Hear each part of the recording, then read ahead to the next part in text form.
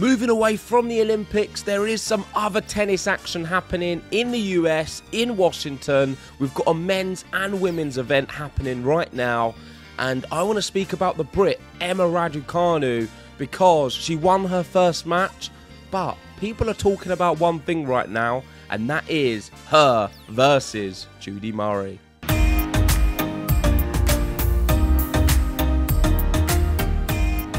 That's right. So, for those who have been hiding under a rock these last few months, at Wimbledon, Andy Murray signed up to play mixed doubles with Emma Raducanu. Raducanu said it was a real honour and she was looking forward to it, being part of the final time Andy Murray was ever going to step out to centre court at Wimbledon. Unfortunately, it never materialised. Raducanu pulled out because she was progressing through the singles, citing uh, a bit of injury and fatigue and wanted to prioritise the singles, if we're being honest. And you can understand that. That's what, what happened. I think it was a little bit poor taste considering it is Andy Murray's last ever Wimbledon and she probably should have just played it. I don't think it would have impacted her singles too much, but she didn't.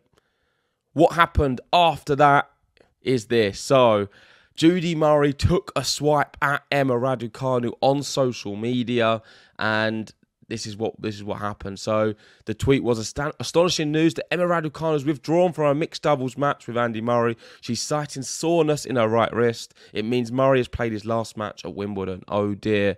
And she, Andy Murray, come to Twitter and wrote, "Yes, astonishing." So throwing some shade on Emma Raducanu. Um, since then, Emma Raducanu has not wanted to comment on it. She said, oh, I didn't even see what Judy Murray tweeted. And probably the best way to play it, move on and leave it there. And I thought the whole situation was completely buried. However, at Washington, Emma Raducanu has taken a swipe back at Judy Murray with the following. So, TFO asked Raducanu, Would you like to play some mixed doubles? To which she replied, Astonishing. Um, so she's keeping this going. I think she just needs to bury it. Come on, let's just move on from it now. I don't think it's a good idea for Emma Raducanu to go after the Murrays. Uh, let's be honest.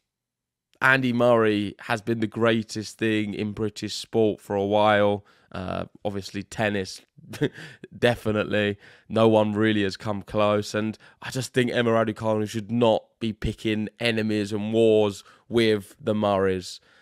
Not a good look. Move on from it. And for those saying Judy Murray started it, she didn't really start it. Emma Raducanu pulled out of the doubles, which really led to what happened beyond that. I think it should have been left there at Wimbledon, and we shouldn't see more on it. Uh, on a positive note, Emma Raducanu, her projected draw for Washington. She played Mertens already. She beat her. And next, she's got Peyton Stearns, which is going to be happening this evening in the UK.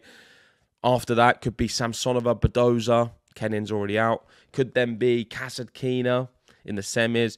And a final of either Sabalenka, Jabeur, or Kalinskaya. Listen, this is actually not a bad draw at all um, avoiding Sabalenka and Jabeur until a final. Sabalenka's had injury concerns. They're very much winnable matches, these ones. And the, the US Open, Radu Raducanu, I mean, would probably clear up this. But let's be honest, she's not won a tournament since winning her first Grand Slam at the US Open. She's not really been so focused on her tennis. We've seen an improvement in 2024. She played well against Mertens the other day.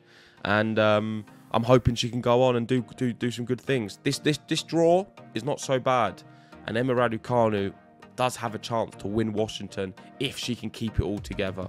But there we go. Just a quick news from me. Let me know what do you make of the Judy Murray versus Emma Raducanu spat. Is it going to keep going? Should Emma Raducanu just leave it completely? Um, I want to hear your thoughts in the comment section below. And of course, if you haven't already, hit the like button, subscribe if you're new, and I'll see you soon at the Olympics.